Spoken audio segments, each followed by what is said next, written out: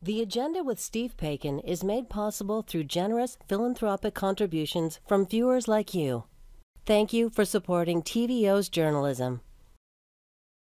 Democracy is in peril if we don't deal with the corruption of our information ecosystem. That, according to Nobel Prize winning journalist Maria Ressa. She is here tonight on Standing Up to Dictators and social media.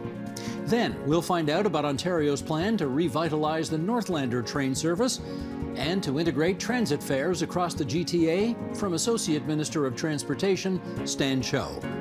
It's Monday, April 10th, and that's next on the agenda.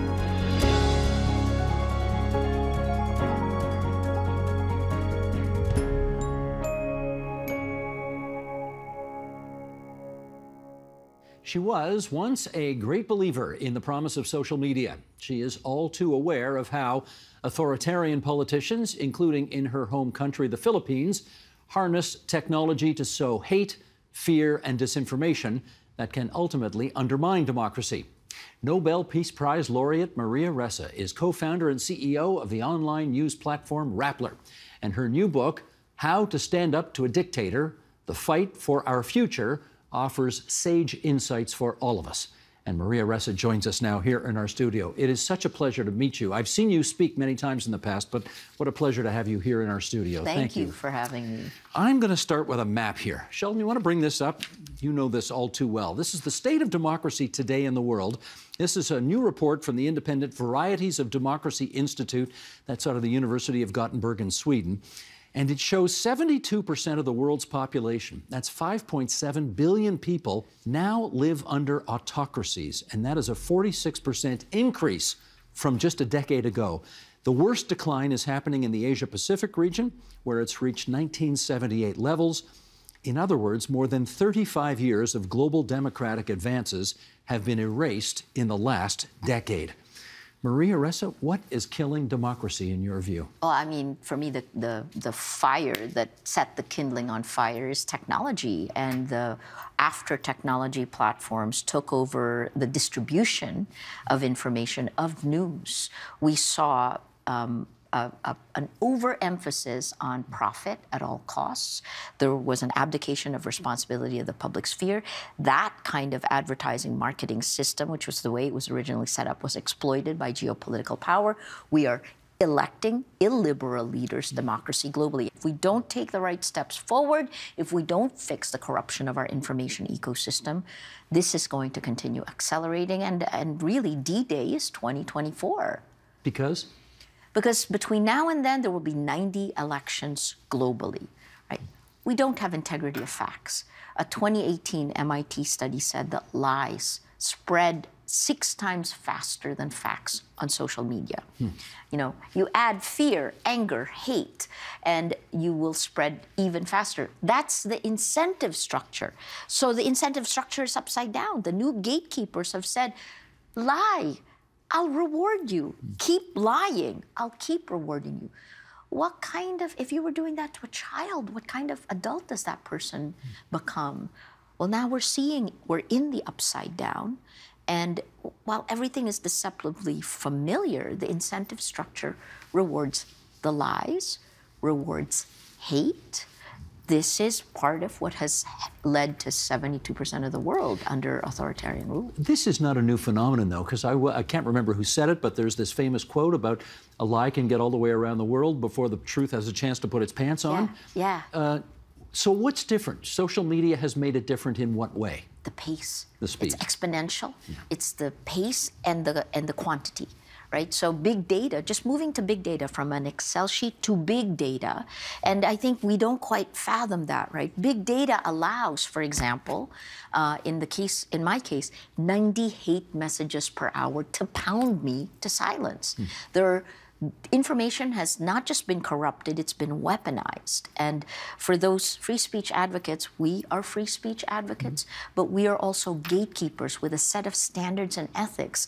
Without these, when information is weaponized, when it's used to take your narrative out and replace it, it's it's how democracy begins to die and has died. That word gatekeepers has become a bit of a swear word in Canada, I have to say. The, the, leader of the Conservative Party of Canada today uses it very effectively, I should add, as a, uh, as a pejorative thing. He says, enough of the gatekeepers. Uh, you gatekeepers are the people who are keeping too many Canadians down, and not everybody's getting a chance to participate in democracy adequately because of that. Does he have a point? No.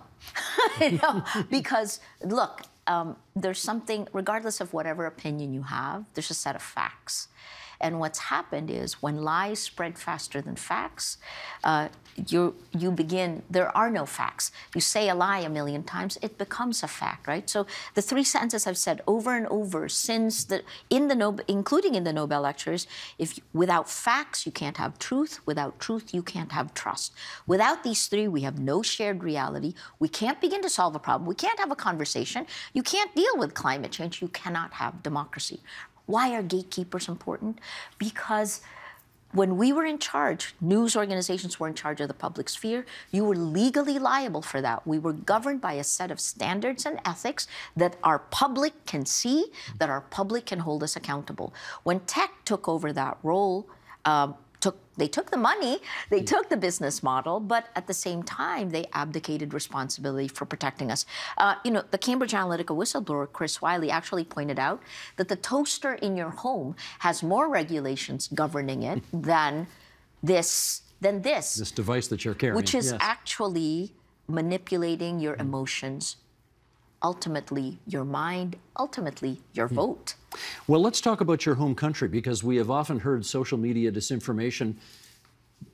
Essentially, the Philippines is like the canary in the coal mine when it comes to that. Explain what that, what that looks like to you. It's really interesting. Part of it is we were first adapters to the tech, right? I mean, look, I, I drank the Kool Aid in 2011 when I saw the Arab Spring. Mm-hmm. I was we set up Rappler in 2012. I thought technology could help jumpstart development. But by 2014, so it was only a year or so, Arab Spring became the Arab Winter. And, uh, and we continued to grow, but we couldn't, we couldn't have fathomed what happened in 2016. So the two biggest stories of my career have been attacks against America tested in the Philippines, hmm. attacks against the West. Um, the first was uh, in 1995 when um, these terrorists came in. They had a plot to hijack planes and crash them into buildings.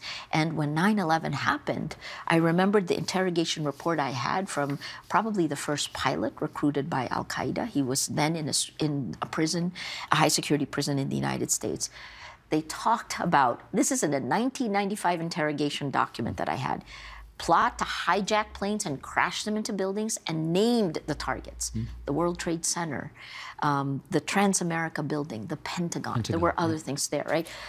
The second time is this the information warfare that is now that has now become molecular at a democracy level that is targeting individuals in a democracy. Um, we began to see it in 2016. I was shocked that it could be used this way, but um, Russian disinformation, you know, the former KGB chair, Yuri Andropov, said that disinformatia is like cocaine. You take it once or twice, you're okay. But if you take it all the time, you become a changed person. We are changed people. And the enabler for the rise of autocracy, as you've seen in that map, the enabler is technology, the social media. We are electing these illiberal leaders democratically, and they are crushing institutions from within their own countries, but they're not staying in their countries. They're also allying with each other in new global alliances like Belarus and Russia. Okay, let me give the flip side just for the heck Please. of it, which is to say Black Lives Matter, the Arab Spring, uh, the democratization efforts happening in Iran could not happen without a vibrant social media sphere. Is yes. that fair to say as well? Fair to say, but Black Lives Matter, these very same things were weaponized. Were, so, what did Russian disinformation do in the United States? Identity politics. They hit both sides of Black Lives Matter. And, you know, I feel sorry for anyone in government today trying to lead because these fissures have been split wide open. Yeah. And we don't listen anymore right? In a world that's completely, that is extremely nuanced, where we need to take surgical moves. How do you do this when your population is being insidiously manipulated? So Duterte in your country was really one of the masters at doing this, right? He was one of the best. What other illiberal leaders do you look at around the world to today and say they're using the same playbook? Well, I'll say, you know, what we've seen in the Philippines is that the Duterte and Marcos disinformation networks were working together. And part of the reason you have a Marcos Jr. today, the only son and namesake back in power, wins overwhelmingly on the vote is because the disinformation began in 2014, not coincidentally, the same time that the meta narrative for the annexation of Crimea, that was later used by Putin to actually invade Ukraine itself. This is when they were all seeded, right? You see the meta narrative. That's when our history began to change in front of our eyes. Um, so back to the Philippines.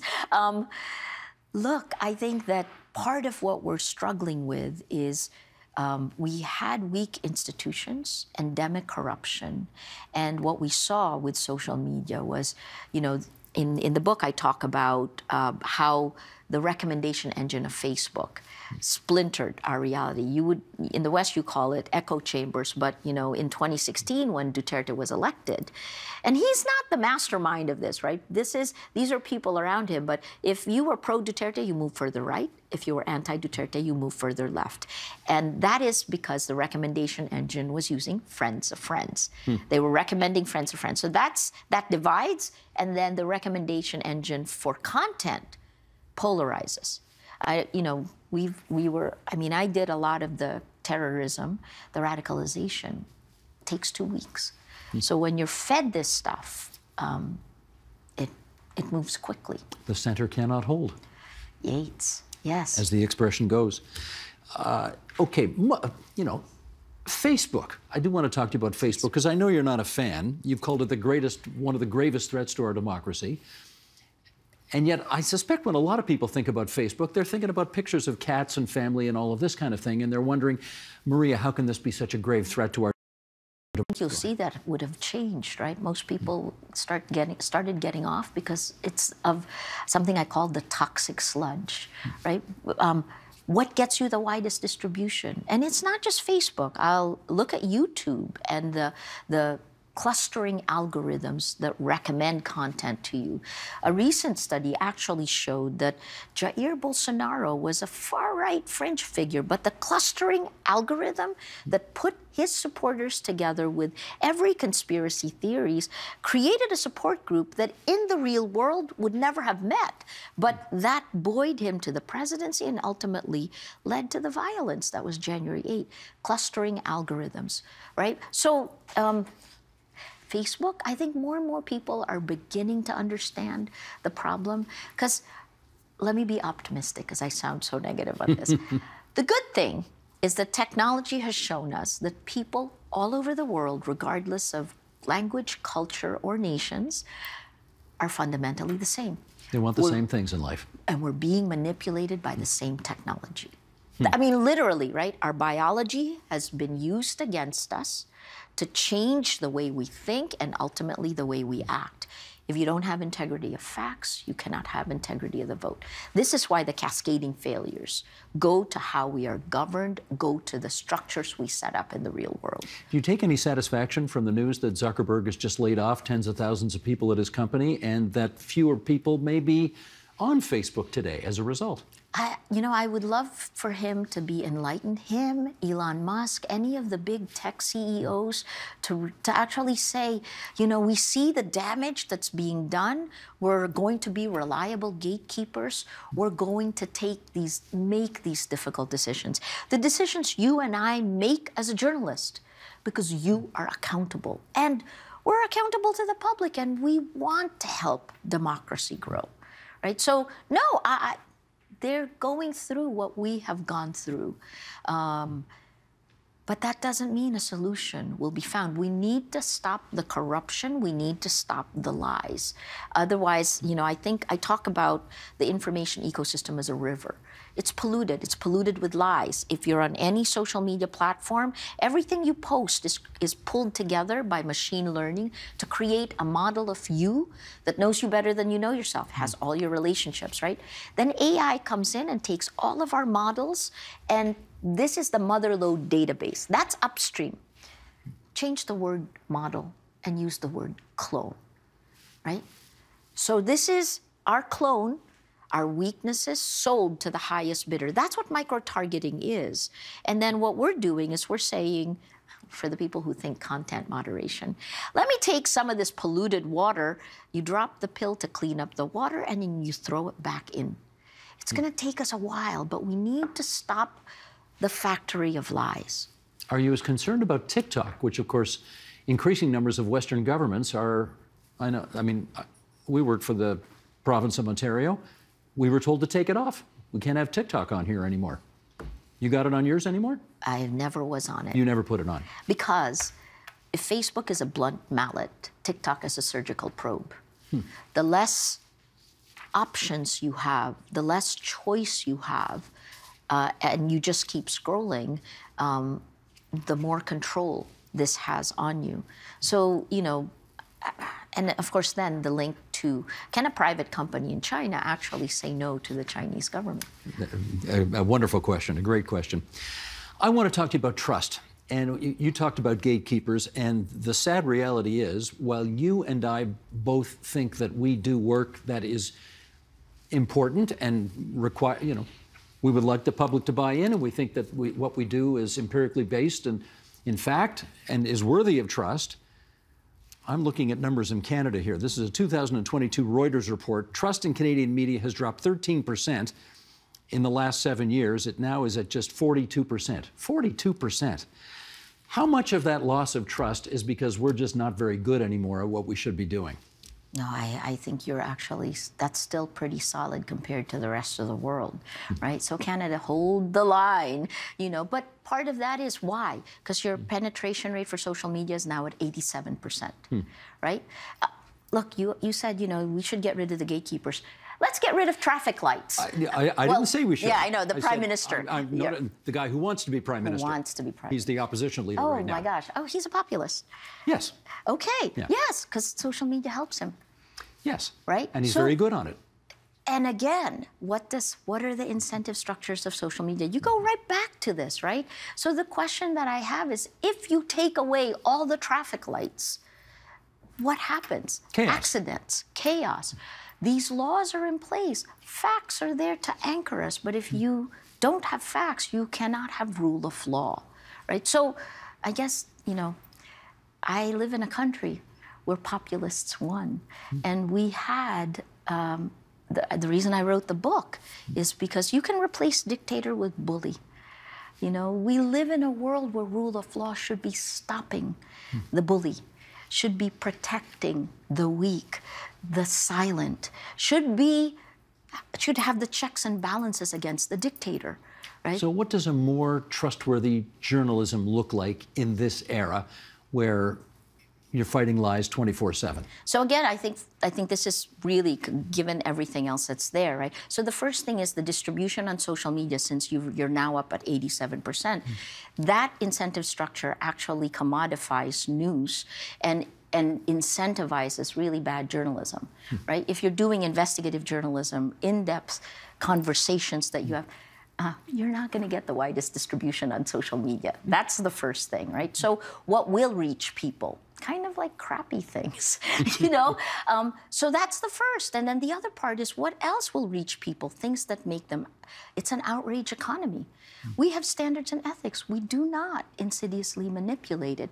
We have a profession that you know if you're doing television you learn to tell the story you it's the micro macro we spend our careers doing that but we're not going to lie to you we're not going to manipulate you in the way some do and are allowed to do on social media. We're not going to lie to you, but you can't help but watch cable television in the United States. And thankfully, we don't have it here in Canada. We have pretty straight ahead cable television channels here.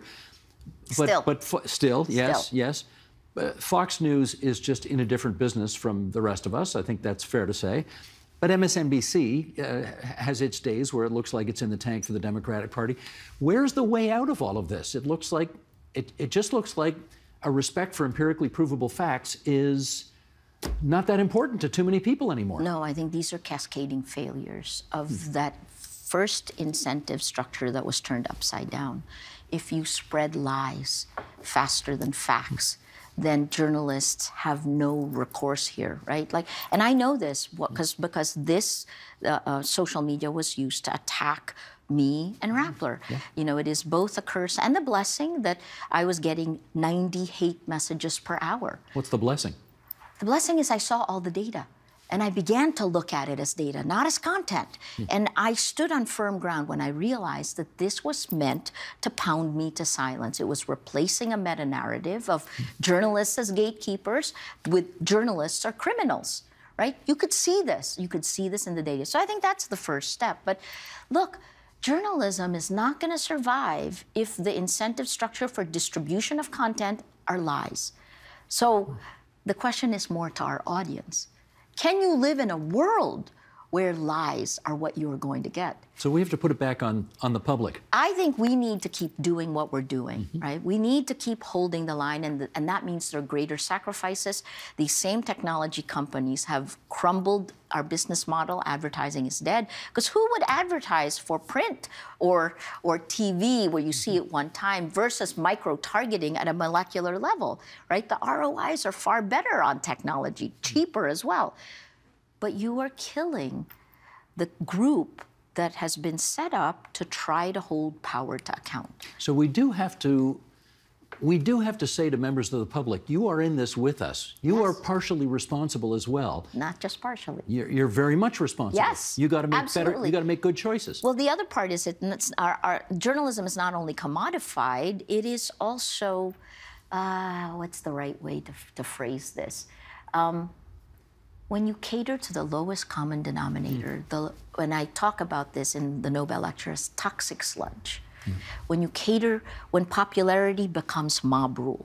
This is where social media is, right? So, so we weather the attacks online. We've been attacked by information operations. Journalists are the first attacked in almost every country you look at. You ask me where I look. I look at Brazil. I look at Turkey. I look at Hungary. I look at India. I look at the United States. You know, there was a period of time when the Philippines was far more civilized than the United States. This is leading up to their midterm elections, mm. right? The division. Why? You are targeted. You have New Zealand. I look at the Five Eyes, you know what we used to call the Five Eyes. You are. Mm-hmm. And women are attacked. In 2017 in the Philippines, we had the data for this. Women are attacked at least 10 times more than men. Mm. Right? Because the goal is to take you out at the molecular level, at the individual level. And these tech companies are enabling this geopolitical manipulation hmm. at scale. Generally, on this program, we don't ask personal questions. We keep it all very much on, on the content. But you're Maria Ressa, and uh, you're a big deal, and I can't have you in that chair without asking you how you are attempting to deal with the notion that you've got trumped up charges against you back in the Philippines and can you go can you go home again and be safe? What do you think? It, all of these attacks began in 2016, right? So it's been many years, and there was a period of time when my lawyers thought I was foolish, and I kept going back. I mean, I've had, look, I feel like you know, if you're an entrepreneur, if you're in Silicon Valley, you know you, that 99% of startups fail. Yep. That 1% has to go through the valley of death.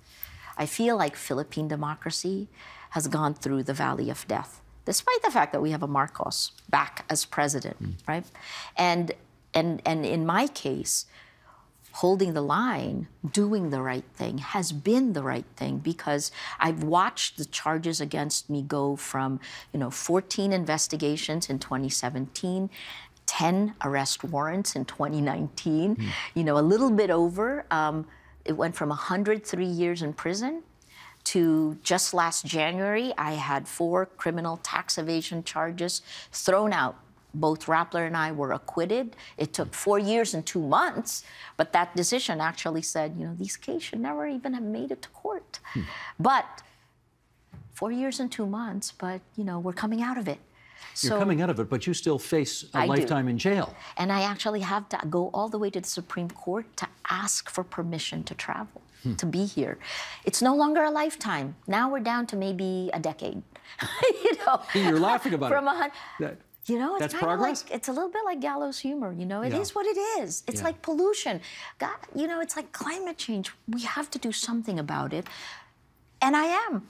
You know what? I'm talking to you about why you need to jump in. Sorry, the last thing you you, you kind of asked this, but journalists news organizations are not powerful enough to do this on our own and in 2021 the nobel prize was given to journalists but in 2022 it was given to civil society so anyone watching i come to you you know this is it's not out there the war in Ukraine seems like it's far away from you. Um, you could say, you know, we're okay here in Canada. You're not okay. Um, the war is here, in your phone, in your pocket. In the Nobel lecture, I talked about an individual battle for integrity, an individual battle for facts. We must win this, each of us. And that mesh is how we win the war. You do put a provocative question out there, though, which is what what are you prepared to do, and how much are you prepared to do to safeguard your democracy? That is that is a really tough question. I know there are people all over the world who are prepared to give their lives for it. I think most people aren't. Most people just want to get through the day, right? How do we answer that question? This is why I'm jumping up and down, kind of, right? Like, please, please, please understand this moment is different. Um, there are surveys that say you don't want to watch the news at all because coming out of COVID, it's you want good news. You know, this is the world we live in. And this moment, if you do not jump in and help, we could lose everything. I've covered Southeast Asia and I've been both in the Philippines after 1986, the fall of Marcos, almost 21 years, and then in 1998, the fall of Suharto after almost 32 years in power. There is a nostalgia for strongman rule in my countries. India has the same. And you want someone else to make those decisions for you, these populist leaders. But understand that democracy is difficult. And this is now calling for your help. If you want the populist, ask the questions. You will ask the questions. How will they solve these problems? Look at it because if we don't jump in, we we look at the end of democracy. And you know, between now and 2024, there will be 90, 90 elections globally. And 2024 is a tipping point. It will either three major elections will push us off the cliff, democracy will die, or it'll crumble slowly. The death by a thousand cuts continues. When will Canada have its elections? Well, we don't know that yet. It's a minority parliament. Who knows? Um, can we say, let's hope the pendulum starts swinging back towards democracy? Let's hope for that, right? Not just hope, please Let's work, for that. it. Gotcha. How to Stand Up to a Dictator The Fight for Our Future is Maria Ressa's latest, and we recommend it wholeheartedly. Thank you so much for coming into TVO tonight and sharing your time with us. It's a great honor to have you here. Thank you for having me.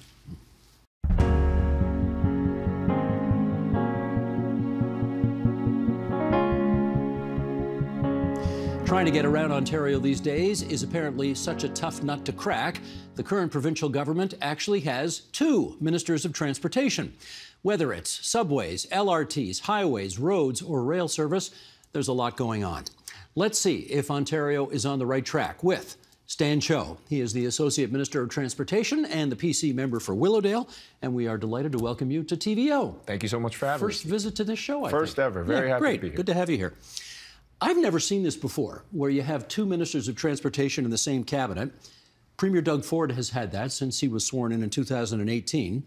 How come? Why do we need two? Well, Steve, we've never had this much transit being built before. I mean, this is a country that's seeing hundreds of thousands of people move every single year. We have a transit deficit to begin with. Uh, that means the largest transit expansion plan is underway. There's a lot of work to be done. Uh, now, that's outside of just modernizing fares and connecting the grid and cross-boundary service, all sorts of things going on. We definitely need those two ministers. Caroline Mulroney's the other one. Yes. And like, how does it work? Do you guys divvy up files, or what, how does it work? Yeah, there are uh, different files for, for Minister Mulroney and myself. I'm very much focused on, on the transit end of things, modernizing Presto and fare service integration uh, and Northlander passenger rail. And, and Minister Mulroney has got a lot on her plate with the transportation network and all of the other work to keep our province moving. Okay, since you mentioned fare integration, let's dive into that, and we'll start there. We do have a bit of an unusual situation in the Greater Toronto Area whereby you can get on a train, a GO train, from one of the suburbs and come to the city, and then maybe you have to hop on the TTC to go somewhere else after that. And you got to pay one fare to go on Go, and you pay a second fare to get onto the TTC. And a lot of people think that doesn't make a lot of sense anymore. Do you think it should be this way? Absolutely not, Steve. I was that kid who took Leslie 51 trying to visit friends in York Region. Then you got to hop on the go, fragmented uh, systems. And I think that's what happens when you plan a transit system without expecting the level of growth we've had in the 1950s uh, and 60s. And so what we have today is a climate of fragmented transit uh, agencies with systems that aren't connected to each other through no, no real fault of their own. But the time is now to have those conversations and take serious steps towards integrating that system system because at the end of the day, nobody cares what color bus you're getting onto. They just want to get from point A to point B. No, that's right. But but you've got Toronto running one system, Peel runs another system, Mississauga runs another system, Halton runs a system, Hamilton runs a system, York's got. I mean, they've all got different systems. So is it your job to sort of put everybody in a room and, and knock their heads together and say we don't leave until we get a deal here? Well, it's uh, it's not quite that uh, dark. I was yes. kind of hoping it might be because that sounds kind of dramatic. But but okay. absolutely, that is what's been happening. Actually, for over two years now, Minister Mulroney began that work. Uh, Minister Surma continued it on uh, with what's called a Fare Service Integration Table, an FSI table, which brings uh, together all of the transit agencies throughout the GTHA. Uh, it was co-chaired by myself and Rick Leary, the CEO of the TTC, and that's precisely the conversations that we were having. What would it take to integrate our transit systems to the point where we could allow for cross-boundary service? Uh, and how do we have the important discussions of it, transit being more affordable? Can we eliminate the local fare? What would it take to actually have that happen? Uh, and that included the TTC, and I'm proud to say that uh, that's where we are now, where the province will be fully funding uh, to make transit agencies whole, the, the ability to transfer from your local transit agency to go for simply the go price, and that includes Toronto. Okay, so tell us how this is going to work, because of course the, the, the promise of the TTC has always been that whether you're going from Yonge and Bloor to Yonge and Wellesley, which is not very far, mm-hmm. or whether you're going from Islington in the west to, I don't know, let's say Warden in the east, which is very far, it's the same price. Is that going to change? Well, right now, the TTC makes their own decisions for their fare pricing. But what is going to change, Steve, is imagine this. Um, let's say you live in Barrie uh, and you want to visit your friend in Fort York. Now, you, most people are going to drive that because there's three different transit agencies, uh, and you got to deal with traffic and you got to pay for parking. There's no real other alternative, uh, but now there is. And so you can take your Barrie Transit, connect to the GO line, uh, come to Union Station, take a streetcar out to Fort York, all for your GO fare. Because uh, what our government is doing is, is, is, making whole the transit agencies in Barrie, so that fare is free when you connect to GO. And now at the end of this year, when you connect to the TTC, your TTC fare will also be fair. So if you think about it, free rather. So if you think about it that way, it's actually a three for one uh, fare arrangement, which we believe is going to take a lot of cars off the road and provide the option of transit for a lot more people out there. You got any studies to say how many cars off the road that'll take? So that is what we're working on that now. What we do know is there's about 1.8 million uh, cars that make that uh, trip into the city, uh, in and out through the GTHA every single day.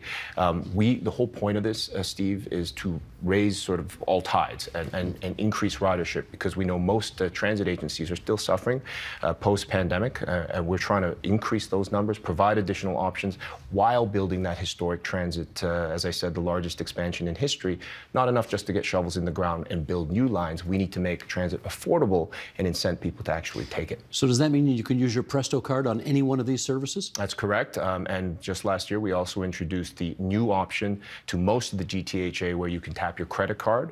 Uh, debit is coming later this year to those transit agencies. And I'm proud to say that the hardware refresh is ongoing for the TTC to have those options available as okay, well. Okay, that's what I wondered about because I know I, I, was in New York not too long ago and I just took my phone and you can, right? That's mm-hmm. how you can get into the New York subway system there, but we've never been able to do that here. That's right, and I think Asia and Europe uh, had that for decades, and uh, it's better late than never. But I'm proud to say it's coming to Toronto. Do you know when? Do you know when all this is going to happen? So it should be at the end of this year uh, for the sort of uh, rest of the debit network for the 905. It's already in place across the Go network and everywhere else in the 905 uh, with your credit card. That includes your Apple Pay, by the way. So your smart device will work on on those devices. The TTC currently through the hardware uh, refresh.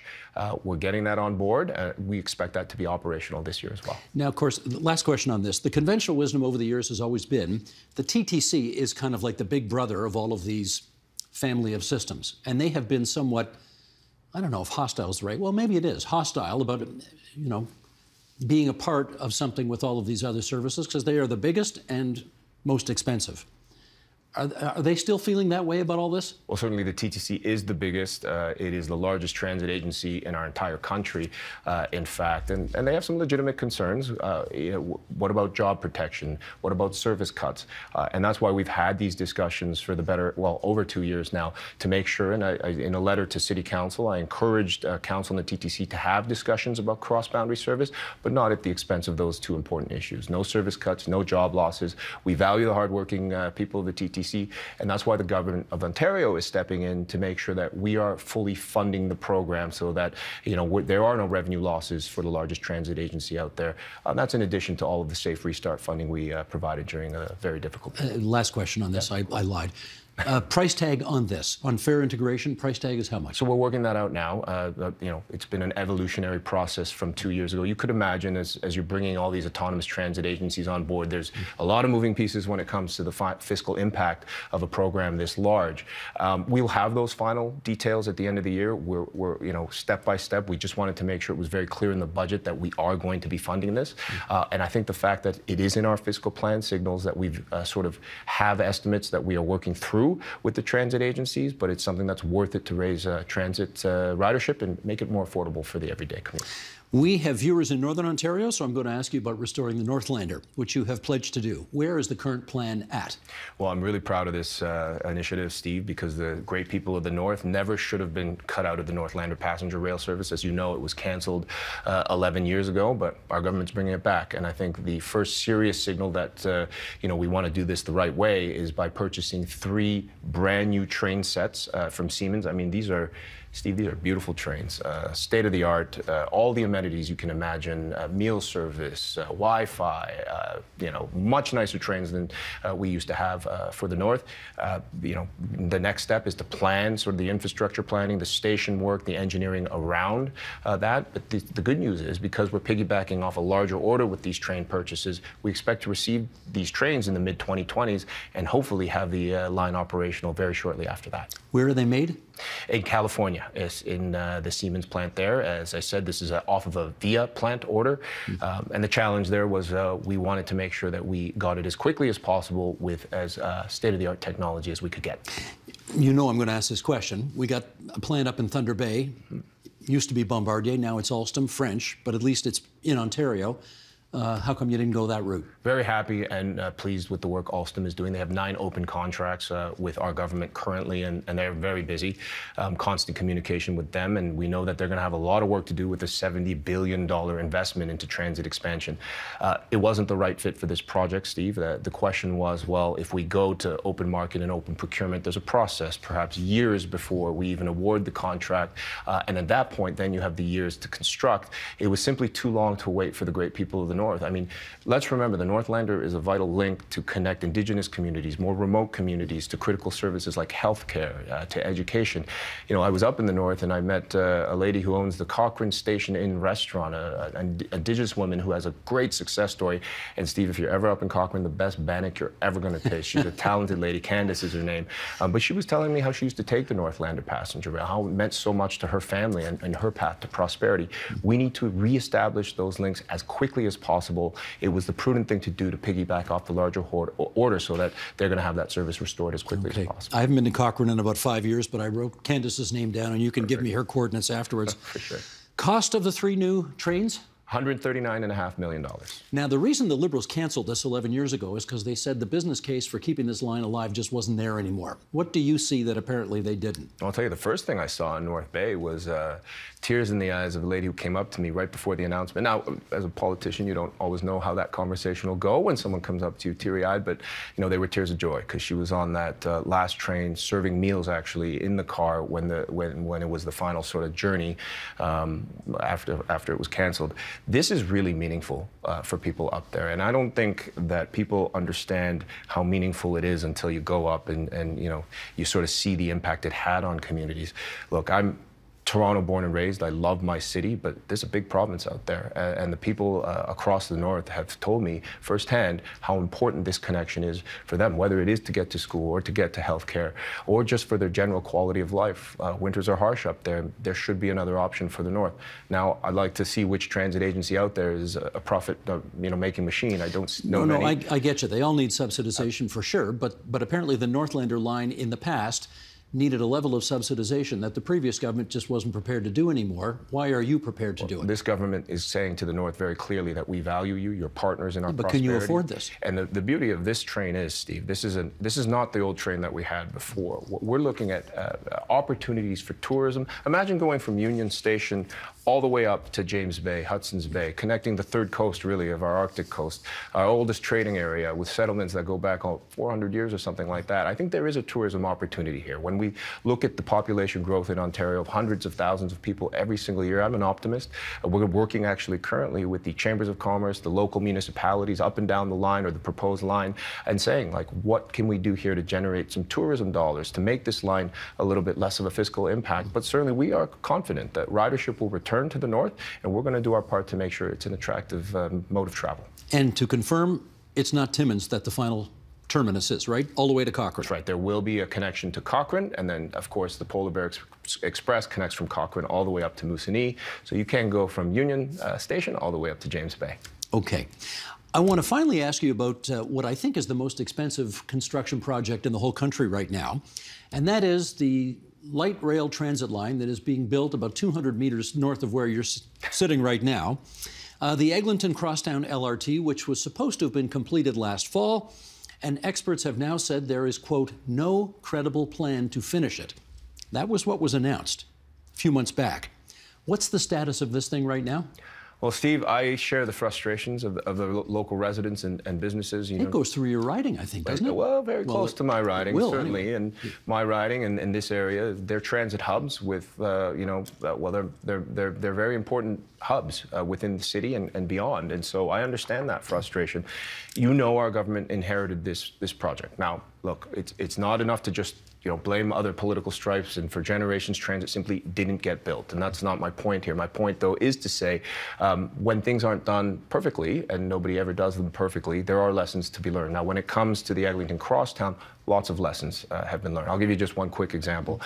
I mean, there's years of delay in the project. Here's one of the reasons why every time you wanted to break ground uh, near a station, or after construction was complete, every time you wanted to get the permit to close and clean up uh, that area, you would have to apply for a new permit, and that would be every single station down the entire line. Now, you can imagine with that many stops how much time that would add to the process of actually getting shovels in the ground or getting this line operational. Whose that's rules exactly were what those? happened. Well, these were the rules sort of through the city. I mean, there were some other uh, legislative uh, hurdles, red tape. If this is the very definition of red tape. And so, first thing we did was pass the Building Transit Faster Act in 2018 to streamline uh, the process. And I know this is it doesn't help uh, the businesses that have closed and are suffering now, but it does say when we have uh, four priority subway projects being constructed as we speak, we are able to learn from those lessons. And it is already producing results. You know, there's shovels in the ground when it comes to the Ontario line, uh, but the Eglinton West extension is more than halfway dug.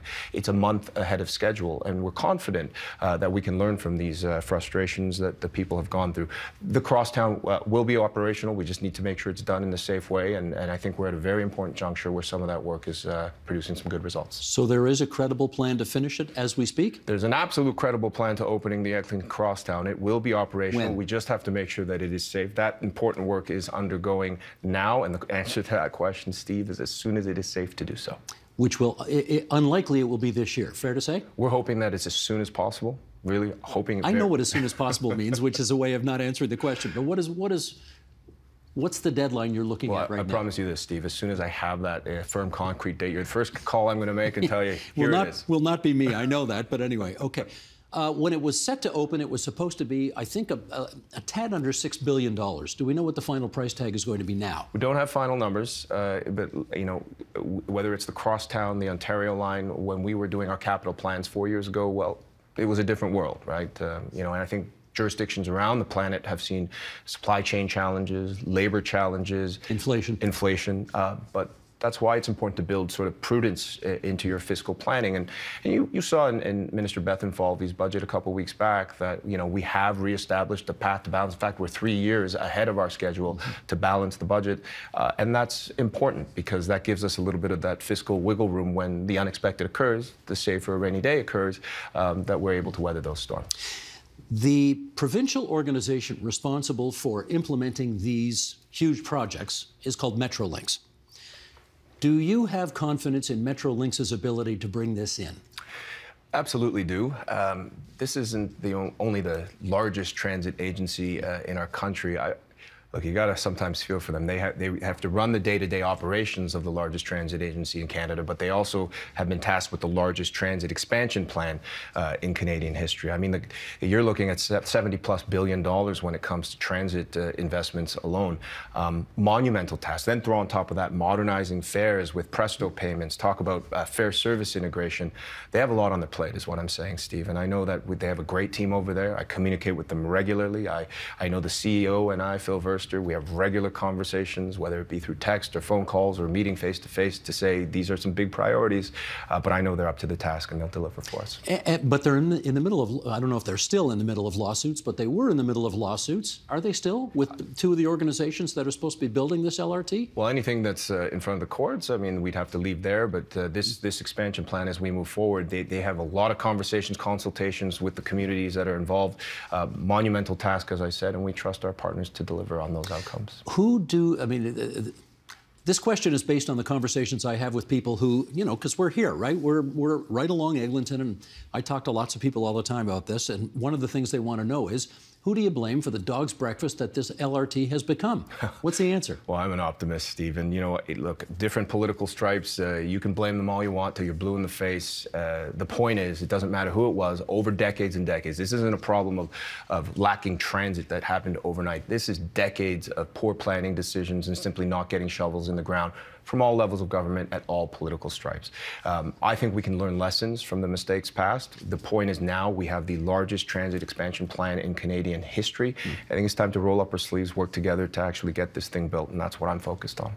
Last question. It does feel, you can tell me if I'm wrong, but it does feel as if it's almost impossible nowadays, for some legitimate and some illegitimate reasons, to bring big infrastructure projects in on time and on budget. Does it feel that way to you too?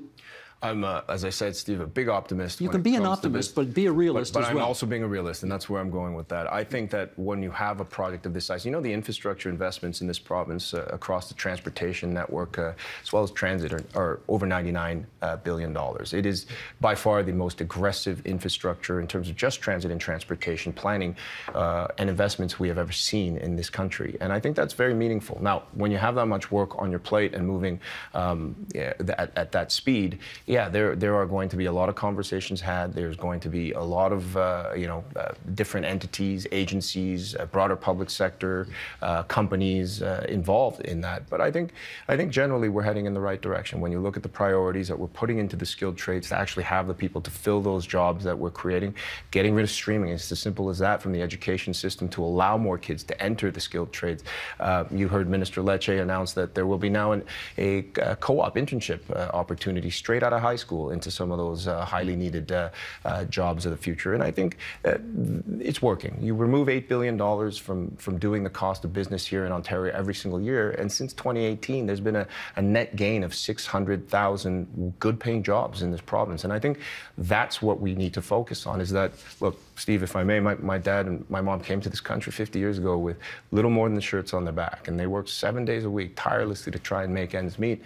And they lived that Canadian dream because when my dad and my mom retired, they employed 200 families uh, throughout the greater Toronto area. If we want to keep that world class uh, quality of life, because for those hundreds of thousands of people that are moving here every single year, critical services include getting people connected and going from point A to point B. And that's what we're focused on. See this phone? Yes, sir. I'm going to be sitting by this phone waiting for your call for when the LRT is going to be opening because I've got you on record here saying I'm your first call. Can I invite you to the ribbon cutting? You sure can. All right, deal. That's Stan Cho. He's the Associate Minister of Transportation for the province of Ontario and represents Willowdale in the legislature. Minister, thanks for coming into TVO tonight. Thanks so much for having me, Steve.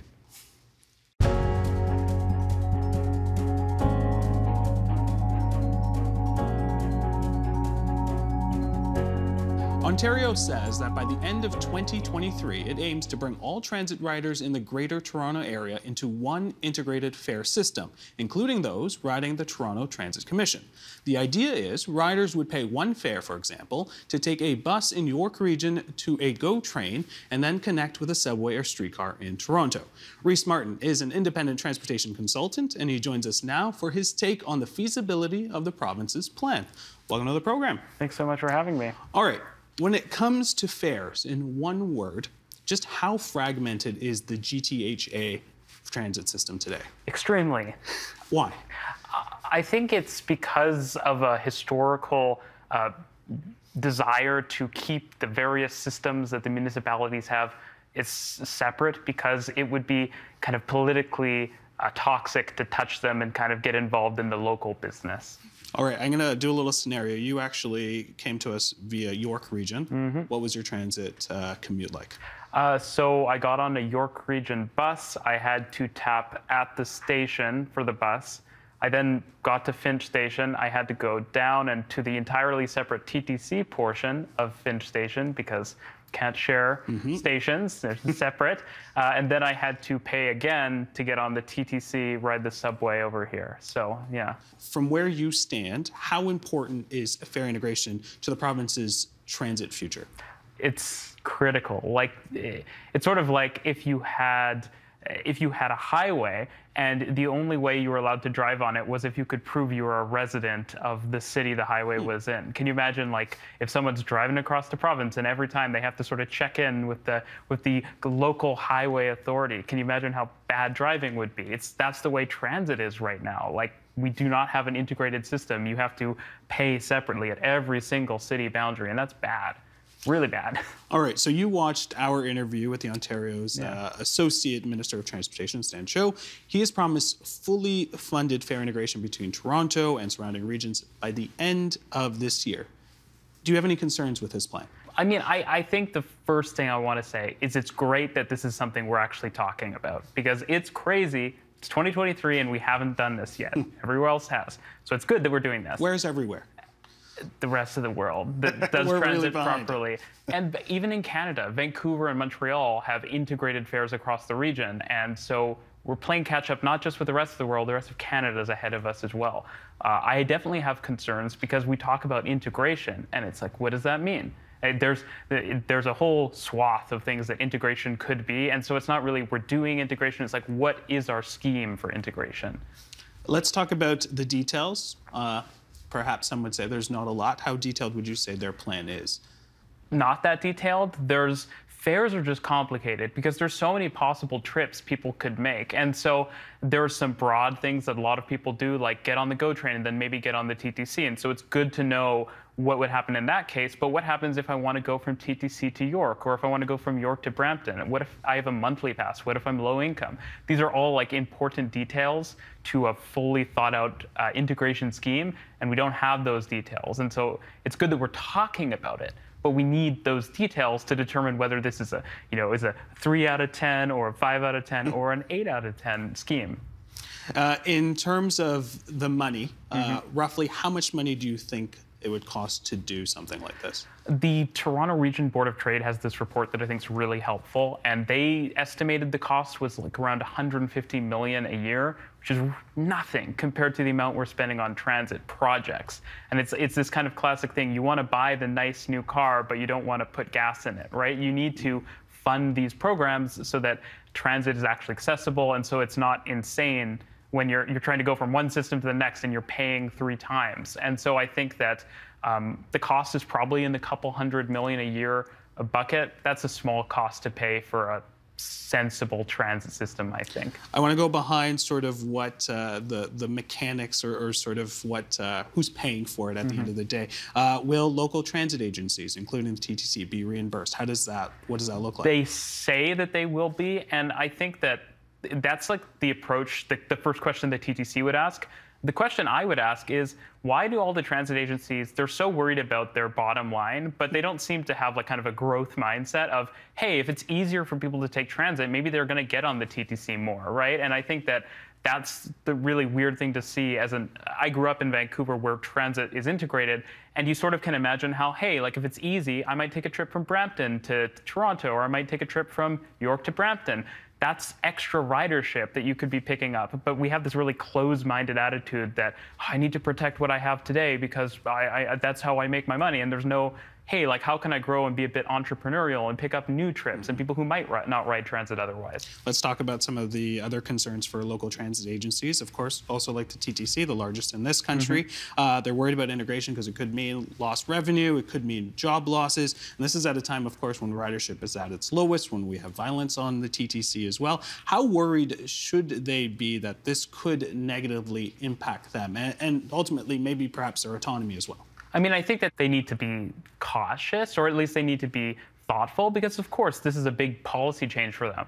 But I think if they do the right things, it's a bonanza for them. Like there are so many people who can use all of the Go Transit service that we're introducing these days, and and uh, come into Toronto, and then hey, maybe I'm in Markham and I want to take a bus last mile, and so I'm connecting from a Go station. If the TTC kind of adapts their model and, and looks at opportunities that this opens up, there's tons of potential for them. And I don't think they need to worry about job losses or about losing revenue. Like, I, I think this is actually going to make transit more competitive with driving. And so it will mean more ridership for TTC. And that's what they should be hunting for right now, because as you mentioned, down at the moment. Sorry, so there's there's those worries, but there is also a worry of timelines. We're in April. There's not a lot of time left. Uh, do you are you optimistic that this plan will happen by the end of the year? I, I am optimistic that something will happen. Uh, it's not clear exactly the details of the plan, but the good thing about having Presto for all of its woes mm -hmm. is mm-hmm. that these things can change pretty quickly if they want them to. And so I actually think it's totally doable by the end of the year if they want to. It's a question of, of kind of willpower, I guess. Um, but yeah, it's, it's, definitely possible. It's a, it's a, few lines of code changes, a few a few ones and zeros, and then people are paying different fares now. All right, Reece, was really great. We look forward to it. Maybe we'll bring you on when uh, the plan is actually in place. Uh, Sounds so good. much. Thanks for having me on. That is the agenda for Monday, April 10th, 2023.